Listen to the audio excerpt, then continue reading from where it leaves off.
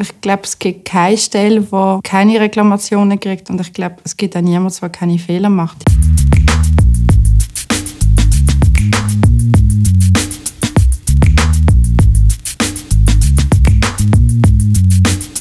Wenn der BVB eine Mail schickst, kriegst du nie eine Antwort.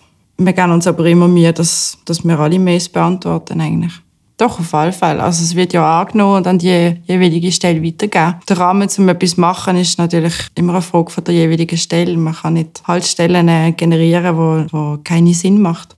Also ich glaube, es gibt wirklich tatsächlich Leute, die bei der BVB arbeiten und sich nicht wirklich auskennen von Basel und von den Traditionen.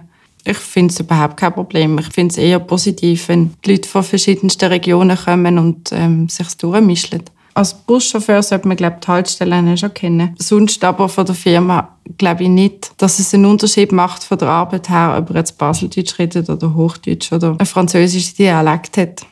Das glaube ich auf alle Fälle nicht. 100 Franken einfach so zahlen für eine Fahrt, die 3,80 kostet, finde ich zu viel. Wenn du nicht verwünscht hast, hast hast Glück an diesem Fall. Aber ob du es mit dem Gewissen kannst vereinbaren kannst, ist dann deine Sache. Man weiß ja nie, wenn man in Kontrolle kommt. Wenn man dann zwei, dreimal in Kontrolle kommt, wird es dann definitiv teuer. Also ich würde mich ernsthaft bewerben, ja. Ich finde es eine tolle Stelle und ich finde das Arbeitsgebiet toll und das Team ist toll.